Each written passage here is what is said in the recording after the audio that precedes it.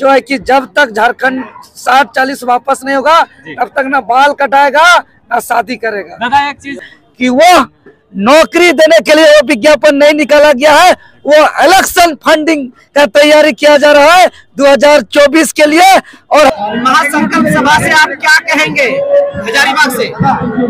आज का यह मैदान और यह जनसैलाब साक्षी है कि 2024 में बदलाव होगा। और आज बदलाव संकल्प था। और आज हम हजारीबाग की धरती, चूँकि हजारीबाग झारखंड का दिल है, और हजारीबाग धड़कता है तो झारखंड धड़कता है। आज हजारीबाग धड़क गया। मतलब पूरा झारखंड धड़क रहा है, और निश्चित ही आज हम इस मैदान से चूँकि अभी कुछ देर पहले जब हम आए थे तो मीडिया बंधु ने हमें सवाल किया था कि आप सिल्ली से आते हैं, और सिल्ली के विधायक आजसू सुप्रीमो का भी बगल में कार्यक्रम है। तो हम यही कहेंगे कि यह बदलाव का जो संकल्प है, हम सिल्ली से इसको कह देना चाहते हैं कि वो जो भीड़ था, वो भीड़ कोल्ड ड्रिंक का, पेप्सी का, नाश्ता का, खाना का, मुर्गा का, दारू का, और यह जो भीड़ था, शोषितों का, वंचितों का, जो छात्र का हक अधिकार हनन हुआ है, वैसे छात्रों का हुआ है तो निश्चित ही हम लोग का भी मानसून सत्र जो आने वाला है, मानसून सत्र में हम लोग फिर बड़ा आंदोलन का ऐलान करेंगे। अगर साठ चालीस नहीं होगा तो अब वापस नहीं होगा तो। देवेंद्र दा क्या बोलेंगे? ये बदलाव सभा को लेकर के विशेष तौर पे क्योंकि बदलाव संकल्प सभा। रखा गया उससे पहले बलिया में रखा गया इतना बड़ा अधिवेशन। क्या सोचते हैं इस बदलाव संकल्प सभा से? क्या मैसेज हम यही मैसेज देना चाहेंगे कि बदलाव कब होता है? बदलाव तब होता है जब शोषण अत्याचार जुर्म चरम पर हो। बदलाव तब होता है जब यहाँ के एमएलए, एमपी जनता के बीच जाते हैं तो बड़े बड़े वादा करते हैं। बोलते ही झूठ नहीं है, लिखते भी झूठ देखिए, ये साक्षी है इतने इतने विधायक लिख करके दिए हैं कि साठ चालीस नहीं चले। और खतियान की बात करते हैं, भाषा संस्कृति की बात करते हैं। और विज्ञापन में झारखंड शब्द को गायब कर दिए हैं। तब बदलाव की ज़रूरत होती है। इसलिए आज इस मैदान से संदेश है कि इस बदलाव का संकल्प में सवा तीन करोड़ जनता को मैसेज है कि इसमें आप लोग सहभागिता दीजिए। झारखंड को परिवर्तन के लिए पाँचों प्रमंडल के सभी समाज के सभी झारखंडी को जो है कि हम लोग को एकजुट होकर के बाहरी माफियाओं की ताकत को ध्वस्त करना होगा। और झारखंड के किसान हो मजदूर हो छात्र हो सबके हित के लिए एक नया नव निर्माण करना होगा। सवाल ये है देवेंद्र नाथ महतो सिल्ली विधानसभा से आते हैं। देवेंद्र नाथ महतो क्या सिल्ली विधानसभा से चुनाव लड़ेगा क्या जेबी केसेस से? ये तो जनता तय करेगी ना? हम एक सिपाही हैं। हम का अपना जीवन का अपना शरीर का हर पल, हर क्षण संपूर्ण सदुपयोग कर रहे हैं इस माटी के लिए, इस राज के लिए, आने वाला पीढ़ी के लिए और यहाँ बदलाव के लिए पूरा जीवन हम गोली भी खाने के लिए तैयार हैं। हम त्याग, बलिदान, कुर्बानी देने के लिए भी तैयार हैं। आगे जनता का जो निर्णय होगा, जनता का निर्णय को हम सहज स्वीकार करेंगे।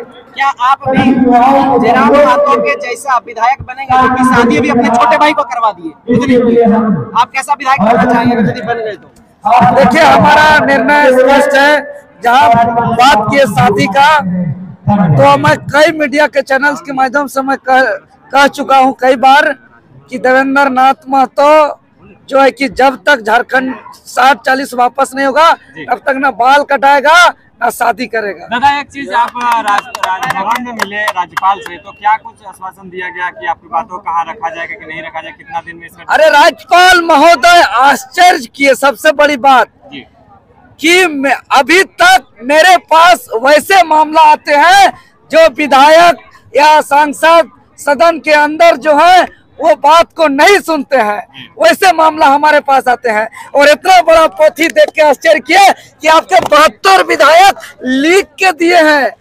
और हर मंच पे कह रहे हैं कि सात चालीस नहीं चलते, उसके बावजूद नीति नहीं बना रहे हैं। या राज्यपाल महोदय अपने माथा पर हाथ लेते हुए पूरा गंभीरता से, पूरे दस्तावेज़ को उन्होंने देखा और कहा कि ये बहुत गंभीर मामला है। पांचवी अनुसूची का राज्य है और पांचवी अनुसूची का राज्य में शत प्रतिशत जो है कि थर्ड और फोर्थ क्लास की नौकरी पे उसका हक है और संविधान का अनुच्छेद 244 का वन के तहत राज्यपाल को अधिकार है कि सरकार को विशेष सेवा, यानी नियोजन पर दिशा निर्देश और आदेश करने का उसमें प्रावधान है। इसीलिए ये हम इसका छानबीन करते हुए, अन्य राज्य का नियम को देखते हुए हम वर्तमान सरकार को निर्देश देंगे और इसका जवाब मांगेंगे कि आखिर लिखने के बावजूद भी नीति क्यों नहीं बन रहा है? कहाँ दिक्कत हो रहा है? तो हमको जो समझ में आ रहा है कि झारखंड के आसपास राज्य के जो पड़ोसी माफिया लोग हैं, जो इस राज्य को लूटना चाहते हैं, वो इस राज्य को दिग्भ्रमित कर रहे हैं और जो अभी नियोजन संचालित किया जा रहा है, जो वैकेंसी निकाला जा रहा है, हम स्पष्ट रूप से कह देना चाहेंगे कि वो नौकरी देने के लिए वो विज्ञापन नहीं निकाला गया है, वो इलेक्शन फंडिंग का तैयारी किया जा रहा है 2024 के लिए और हम जिस प्रकार जूनियर इंजीनियर का एक एक एक एक अभ्यर्थी को 20-20 लाख में क्वेश्चन बेचा गया था, लेकिन दुर्भाग्य, जितना सीट था सीट से डबल स्टूडेंट को क्वेश्चन बेचा जा रहा है। मतलब क्वेश्चन बेचने वालों को भी नौकरी देने का गारंटी नहीं है, यहाँ सिर्फ़ इलेक्शन फंडिंग किया जा रहा है। अभी मैं बता दे रहा हूँ, कई कान पे सुनाई पड़ रहा है सीजीएल पे सीट बेचने का तैयारी किया जा रहा है। आपका प्लस टू पीजीटी का जो है कि सीट बेचने का तैयारी किया जा रहा है। लेब असिस्टेंट टेक्नीशियन में तो बोला जा रहा है कि सर्टिफिकेट जमा करिए, क्वेश्चन दिया जाएगा। जब क्वेश्चन मिलेगा तब बाद में बीस लाख रुपया दिया जाएगा। और हम ज- ये बात हम नकारने नकार नहीं सकते हैं क्योंकि जो जे एस एस सी का जो चेयरमैन सुधीर त्रिपाठी है, वो बहुत भ्रष्ट व्यक्ति है।